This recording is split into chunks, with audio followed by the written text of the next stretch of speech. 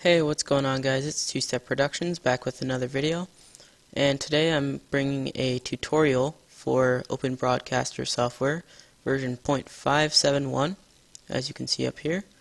And um, in my previous video that I had made reviewing this software, I had a couple of comments asking me to do a tutorial on how to set up specific scenes with certain sources in them, like I'm doing now. As you can see, I have a monitor capture source inside my general capture scene, and I have a live bar uh, 2 source, which if I select it, now you can see that there is a live bar up around here. And um, if I drag this below the monitor capture or actually I have to right click order and move down now it's no longer visible but if I right click order move to top or move up it will be visible again. So to do this I've set up a scene called tutorial. And all I have in there right now is a source called monitor capture because if I didn't have this then you guys would just be able to see uh, black screen right now. So setting up my first source of the monitor capture wouldn't actually show up. But to show you how to do it I'm going to uh, set up another monitor capture so uh, if you want to add a new scene let me just go through that quickly you right click in the box for scenes and go to add scene and you can name it and it'll show up on this list. And then in each scene you have sources. So right now, monitor capture, if I uncheck this, the screen goes black. If I check it again, then you can see my monitor again. So you right click again and you can add a sort of scene. So let me add a monitor capture as I was showing you. And um, you can name it. So monitor capture 2. And then you click OK, and it brings up some stuff. So um, I have two monitors on my computer, and the one I'm recording right now is monitor 2. And so I'm uh, I'm just going to set up so that it records monitor 2 as well, because as you can see, monitor 1 has a very odd uh, aspect ratio to it. So monitor 2, 1920 by 1080. You can change a couple of different things here. Um, I tend to leave this stuff alone um, since I don't really know too much about what it does. And then you can click OK and it shows up here on your list of sources. So uh, as you can see, you can check and uncheck it. And why you don't notice a difference when I uncheck it is that I still have uh, this up. So right now you're seeing monitor capture with no number after it, and now you're seeing monitor capture 2. And again, I can order it, so move down uh, and move up. I can change it the position, and this isn't too useful with a monitor capture, but later when I show you how to set up something like this live bar here, um, the positioning and size of it is quite useful. And um, you can rename it, remove it, and go back to the properties uh, page and change that stuff. And um, that's it. So next I'm going to show you how to uh, create a game capture. So uh, something like Minecraft or uh, Call of Duty on PC, Battlefield 3, uh, StarCraft 2, anything. Again, you're going to want to click, right click, and go to Add, and then you're going to go down to Game Capture. And you can name it whatever you want. So I'll name mine MC for Minecraft. And what you can do is if you have the application open, so you can see I have Minecraft open, uh, it should show up here under Applications. So I'm going to go down to Minecraft 1.6.4 and if it doesn't show up you can open up the application and then hit refresh. So if you see me uh, where's my games file there it is and what would open quickly? Terraria. Oh, Steam's updating.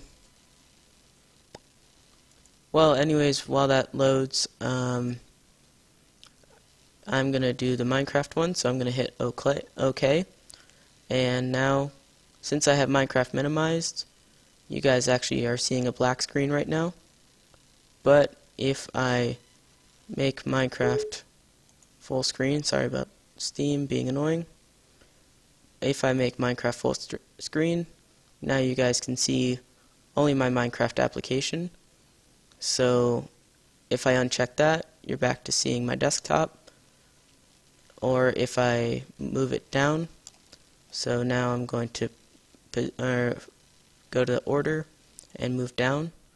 And so now you guys will just see the Minecraft with this uh, application bar up here. But what's nice about the game capture thing is that it only captures the inside of the window.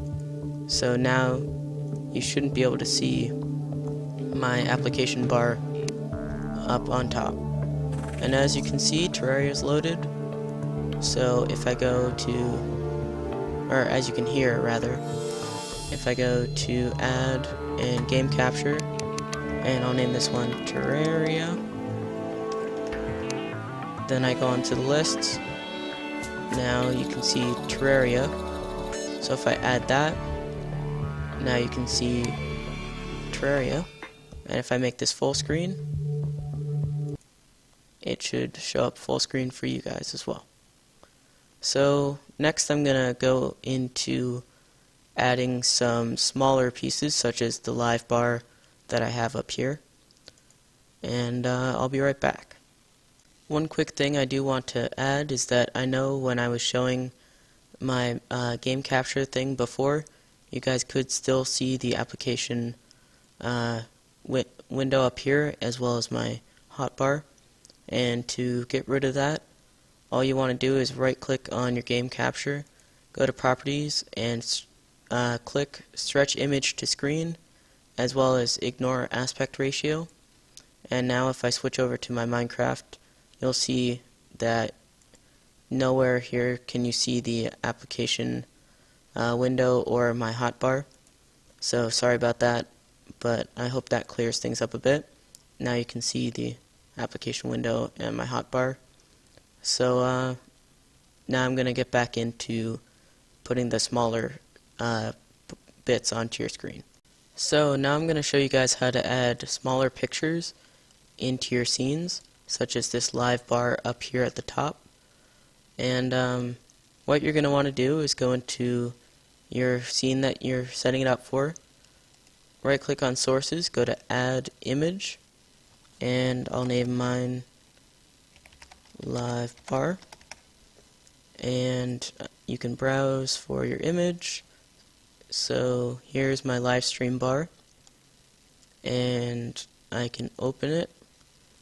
And here are some of the uh, properties of the image that you can change. For instance, you can change the opacity. Uh, I'm going to leave it at 100 because I want it to show up fully. And uh, the color key here is if you're using an image such as words uh, that have a background color, say it's white or even orange or whatever, you can uh, write or check this use color key and select what color. And so, say I didn't want to see any of this color in my image, uh, then that's now selected as my color key, but I'm going to leave it at white. And what this does is gets rid of all of the white in the image, so just the other colors will show up. So that gets rid of any of the background of the picture. But since my image does not have any background color, I'm going to leave that unchecked. So once you're done with the properties, you can click OK, and it'll show up here but as you can see it's not centered so what you can do is right click on the source and go to position and size and then you can change its position so I'm going to center it horizontally. And as you can see it's not a huge change but now there is an even amount of space on either side of it. And um, if you want to you can uh, move it to say the center vertically. So now it's in the very middle of my screen. Or you can change I'm going to change it back to the top. But you can also change the sizing of it. So if you want to fit it to the screen then it's going to widen out a bit and I can move it back to the top like so. So now it fits the entire width of my screen. And you can do a couple of other things to manipulate these images to get them however you want.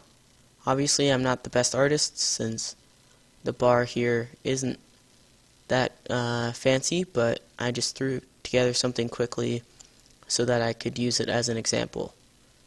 And um, as you can see when I check my Minecraft source and bring it up uh, it stays on top as long as it is the top layer here. So if I go back to my monitor capture and I move this down so order move down now it's below my Minecraft application. So if I bring Minecraft back up and switch to the Minecraft source you can no longer see the bar. But if I'm just doing a monitor capture, since it's below the live bar on the list of sources, you can see the uh, bar up here. So I hope you guys enjoyed this tutorial. If you did, uh, feel free to leave a rating or even favorite it. Uh, comment if you have any questions or suggestions for any other tutorials that you want me to do. And uh, Subscribe if you want to see more. And have a good day, guys.